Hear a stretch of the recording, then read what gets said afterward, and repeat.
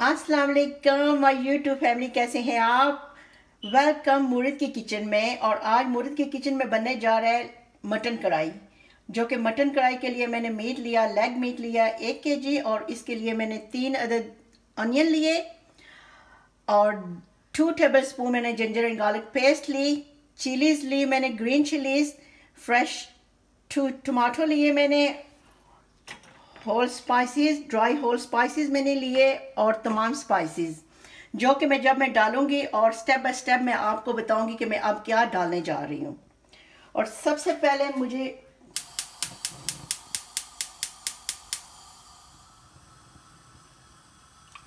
सबसे पहले डालेंगे हम ऑयल जो कि मैंने हाफ़ कप लिया, और इसके बाद डालेंगे होल स्पाइसेस जो कि मैंने लिया cumin seeds black pepper clove black cardamom और थ्री सिनेमन स्टिक।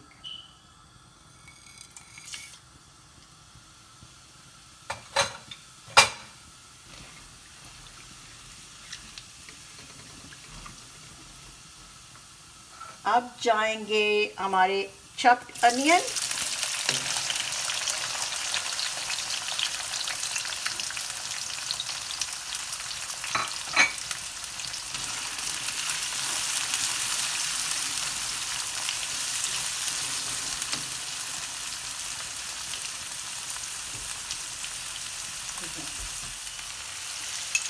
और साथ में जाएँगे गार्लिक एंड जिंजर पेस्ट जो कि मैंने टू टेबल स्पून लिए। आज हमारे साथ ही रहें। आज मुर्ग की किचन में जो मटन कढ़ाई बनने जा रही है, बहुत मज़े की बनेगी। हमारे साथ ही रहें। कहीं मत जाइएगा।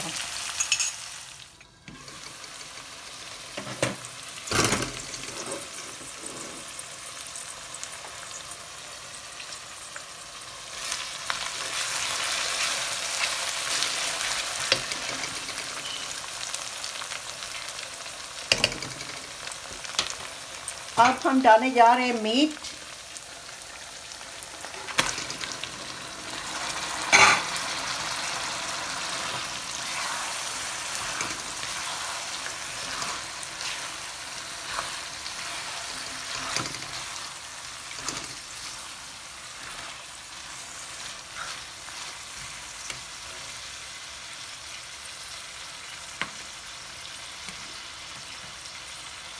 और साथ में डालेंगे salt two tablespoon salt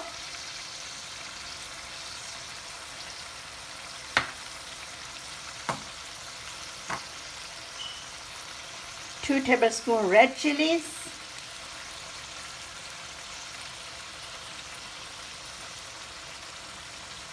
one teaspoon turmeric powder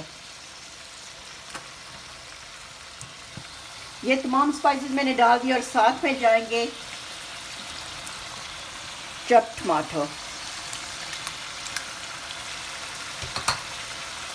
तकरीबन वन कप अब इसको अच्छी तरह से मिक्स कर लेंगे हम।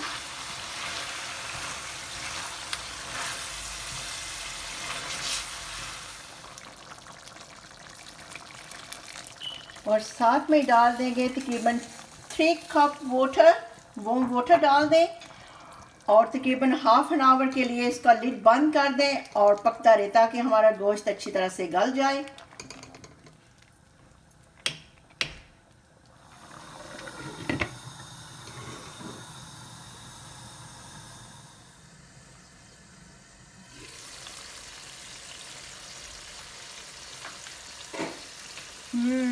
माशाल्लाह से मेरा मटन कढ़ाई को बनते हुए तकरीबन 30 से 45 मिनट हो गए। और मेरा मीट माशाल्लाह अच्छे से गल भी गया। और अब मैं इसमें स्पाइसेस ऐड करूँगी, जो कि मैं डालने जा रही हूँ। Dry coriander seeds one tablespoon और साथ में जाएँगे चिलीज।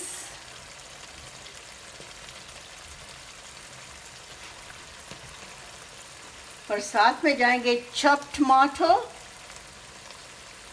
आज बहुत मज़े की मटन कढ़ाई बन रही है। आप मेरे चैनल को ज़रूर सब्सक्राइब करना शेयर करना और लाइक करना। और ये भी बताना कि आज जो मूर्त की किचन में ये मटन कढ़ाई बन रही है, आपको कैसी लग रही है? बहुत अच्छी और मज़े की खुशबुएँ आ रही हैं आज मेरे किचन में।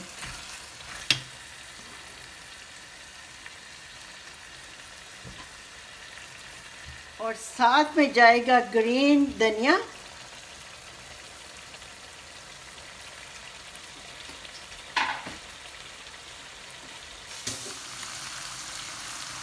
अब मटन कढ़ाई तो रेडी हो गई और बस अब डिश आउट होने का टाइम आया और इसको हम गार्निश करेंगे धनिया से अगेन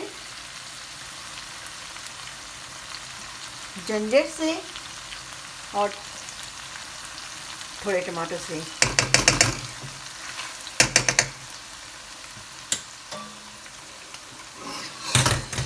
हम्म, मज़े की खुशबुएँ आ रही हैं आज मूर्त के किचन में।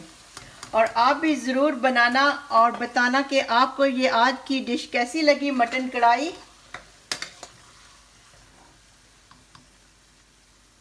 हम तो खाएँगे नान के साथ।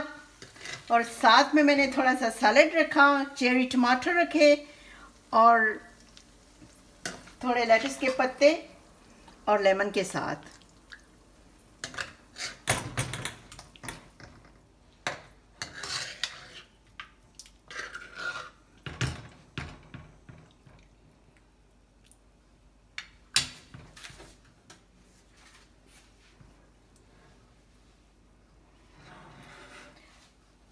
अब देखिए जी, मेरी तो कढ़ाई बन के रेडी होगी और आप भी खाएँ इंजॉय करें और फिर मुझे बताएँ कि आज मूर्त की किचन में ये जो कढ़ाई बनी, कैसी बनी, आपको अच्छी लगी। और आप भी नान के साथ खाएँ, इसको राइस के साथ भी खा सकते हैं और रोटी के साथ भी खा सकते हैं। ज़रूर इस चैनल को लाइक करें सब्सक्राइब करें और शेयर करें अपने फ्रेंड फैमिली के साथ।